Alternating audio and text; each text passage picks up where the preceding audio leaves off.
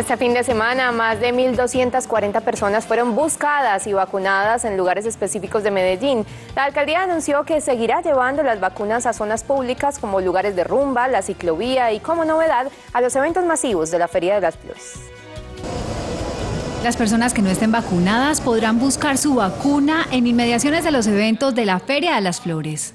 La intención que tenemos es garantizar la salud de todos los que están ingresando o por fuera de los eventos, entonces para ello vamos a verificar que si tengan el carnet con el inicio del esquema, pero además dispondremos puntos de vacunación alrededor de los eventos para que este no sea un impedimento, solucionemos rápidamente y puedan ingresar a los eventos. Realmente son muchos los eventos que están eh, ya inscritos en la feria, esperamos cubrir el 80% de los puntos donde es necesario presentar el carnet de vacunación. Este fin de semana se lograron poner 1.246 vacunas en la ciclovía y en los puntos móviles que llegaron en la noche a tres parques que son zona de entretenimiento.